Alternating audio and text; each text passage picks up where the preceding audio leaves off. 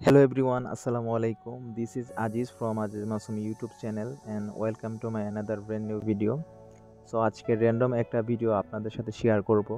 Random video বলতে এইবার ঈদে বাড়ি যাওয়ার একটা টিকিটের বাজে অভিজ্ঞতা নিয়ে এটা শেয়ার করব আপনাদের সাথে। তো বলছিলাম টিকিট না পাওয়ার একটা গল্প।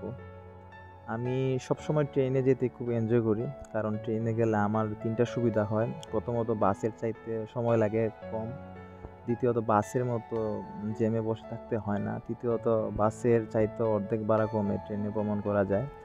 আর এই সুবিধাগুলোর জন্যই ট্রেনে ভ্রমণ আমার মনে হয় বেস্ট তবে এবার ট্রেনের টিকিট বুকিংয়ে অনেক সমস্যা ক্রিয়েট হয়ে গেছিল, যার কারণ হচ্ছে ই টিকিটের যান্ত্রিক কিছু সমস্যা।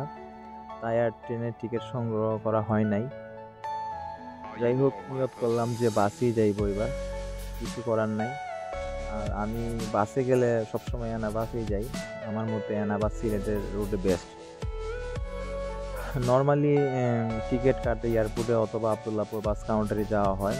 তবে ধাক্কা পারাপারের সুবিধার জন্য আবদুল্লাপুর বাস কাউন্টারে গেছিলাম এই বছর। কিন্তু আবদুল্লাপুর যে যা দেখতে পাই, তার জন্য মোটেও প্রস্তুত ছিলাম না। এত পরিমাণ মানুষ আর ভিড়। ভিতরে কোনোরকম যাওয়ার পরে দেখি সুন্দর করে সাইনবোর্ডে লেখা দুঃখিত সিট নেই।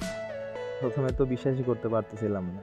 পরে মানুষের ধাক্কা ধাক্কি খেয়ে বের হওয়ার পর অনুভব করতে পারছিলাম যে বড় ধরনের একটা মারা খেয়ে গেছি অলরেডি কিছু আর করার নাই।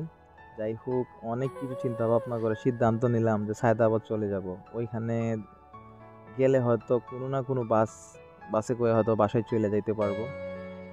দেন লোকাল বাসে এক ঘন্টায় আবদুল্লাপুর থেকে সায়দাবাদ গেলাম। তাও আবার ডাবল ভাড়া দিয়ে। সায়দাবাদ গিয়ে দেখি আমি যেন কোনো বাস স্ট্যান্ডে আসি নাই। আসছি বঙ্গবন্ধুর ঐতিহাসিক সাথে মার্চের কোনো এক জনসভায়, এমন মনে হয়েছিল। এত পরিমাণ মানুষ। বিকাল হচ্ছে আপনার পাঁচটা থেকে রাত দশটা অবধি, এমন কোনো কাউন্টার বাকি ছিল না যে আমি যাই নাই, কিন্তু দুঃখের বিষয়ে, কোনো টিকিট পাইনি। মাঝখানে আবার দুইটা দালালও আসছিল যে আমাকে টিকিট ম্যানেজ করে দিবে বলে। কিন্তু দালালরাও ব্যর্থ হয়েছিল প্রায় তিরিশ চল্লিশ মিনিট ঘোরার পরে। তো বসে বসে ভাবতেছিলাম এবার হয়তো বাড়ি যাওয়া হবে না, তাই নিজেকে নিজে বকতেছিলাম। মিরপুর ব্যাক করব। তখনই আবার মাথায় আসলো, শেষমেশে একটা চক্কর দিয়ে যায়, যদি পেয়ে যাই তো আলহামদুলিল্লাহ, নয়তো সোজা মিরপুরে। একটা কাউন্টারে গেলাম, ধাক্কা ধাক্কি করে, গিয়ে বললাম, ভাই, কষ্ট করে আমাকে একটা টিকিট ম্যানেজ করে দিতে পারবেন সিলেটের? তারপর কাউন্টার থেকে একজন বলতেছে, ভাই টিকিট আছে সিলেটের রেগুলার ভাড়া ছশো পঞ্চাশ টাকা, তবে ডাবল ভাড়া লাগবে, তাহলে দেওয়া যাবে।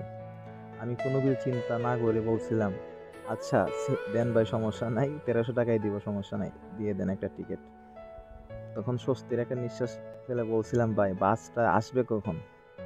জবাব দিছিল যে, এগারোটা পঁয়তাল্লিশের বাস, তবে রাত একটাও হতে পারে। যদি আলহামদুলিল্লাহ বারোটা পনেরো অথবা বিশের দিকে দিকে চলে আসছিল বাস।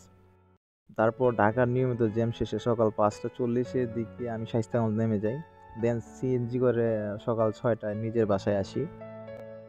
এই ছিল ঢাকা থেকে হবিগঞ্জ আসার ভয়াবহ স্যাড একটা স্টোরি ধন্যবাদ সবাইকে এতক্ষণ যাব শোনার জন্য। আল্লাহ হাফেজ।